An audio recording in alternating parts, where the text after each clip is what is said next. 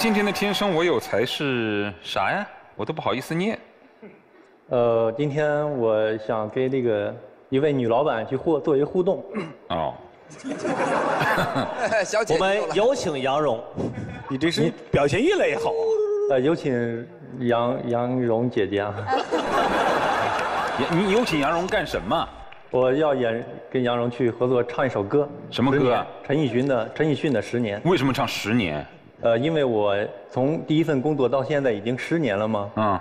然后我希望那个下一个十年，呃，能够与企业共同的去进步，也希望呃在座的涉外企业能够越走越辉煌。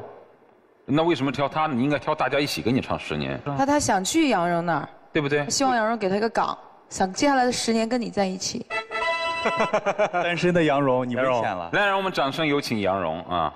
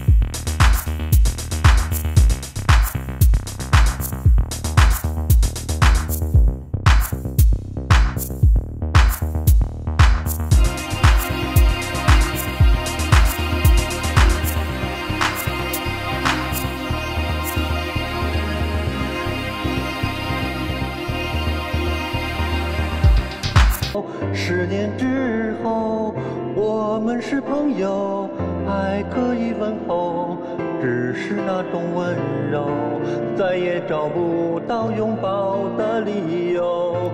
情人最后难免沦为朋友。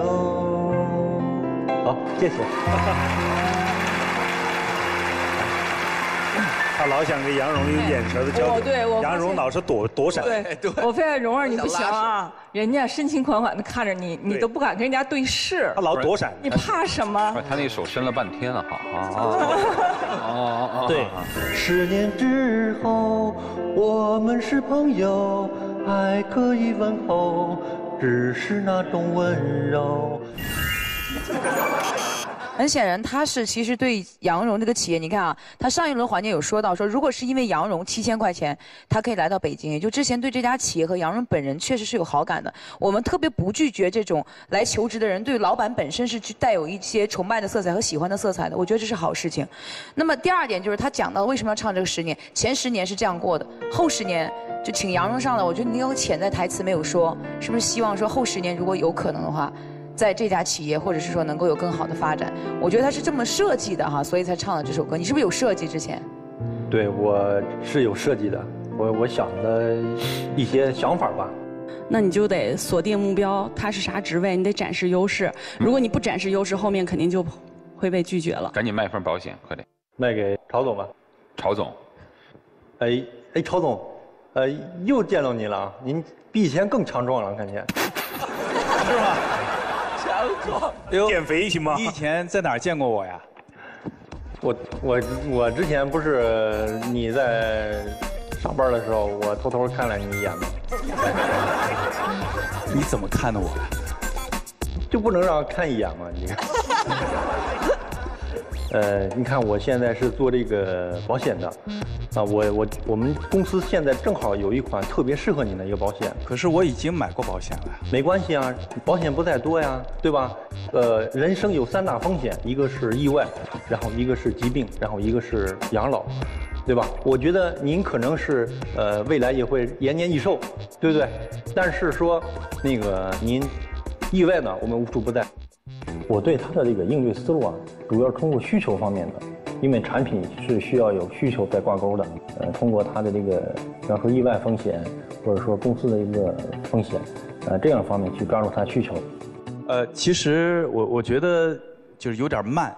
如果说我跟你聊的时间很长，有可能会成为你的客户；如果我只跟你聊十秒钟的话，你是抓不住我的。但比想象的好一点，好多了，尤其没有想没有一开始显得那么不靠哎，谱，对对对对，对，他是真能卖保险，而且他要求的工资是四千对，啊，我认为他做销售其实是可以的，加以培训。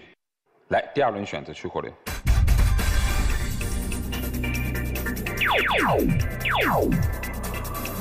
还有一盏灯，直接进入谈钱不谈感情。来，职位其实我在石家庄是没有岗位的，所以你的职位是在北京，呃，给的是这个销售助理的岗位，但不是我的销售助理哈，是我们有一个投的一个公司叫哈奇智能，是做这个智能家居的一个公司啊啊。因为这个销售的话是主要面向的是 B 端的客户，然后是做这个呃社区智能化，那你你现在是肯定做不了的，所以会有这种销售经理来带带着你来做。社区你熟啊？对，薪酬薪酬的话是六 K。哦，挺高的，销售底薪六 K 哎。对，这个薪水真的是已经是蛮高的了。好，考虑一下，做出你最后的选择，十秒。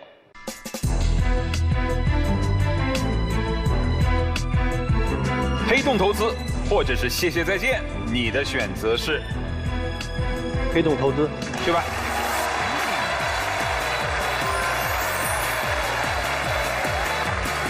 最后的时候，我觉得对他的那个选择还是挺佩服的。原本以为他要拒绝，但是他选择接受了，我觉得就说明是他新生活的开始。高兴吧？哎呀出一身汗，容易吗？出，没有我，你今天能成吗？对你涂大爷呵护你成长啊，对吧？对的，但是其实我也在想，如果说今天是在一个线下的一个平台上，不行，那肯定不行。我真的你是真的找不到的。所以你既然决定了，我希望你能突破出你自己，好好去做这份工作，好不好？好，好，谢谢。记住啊说服家人哦下一个十年啊。好的。嗯，再见。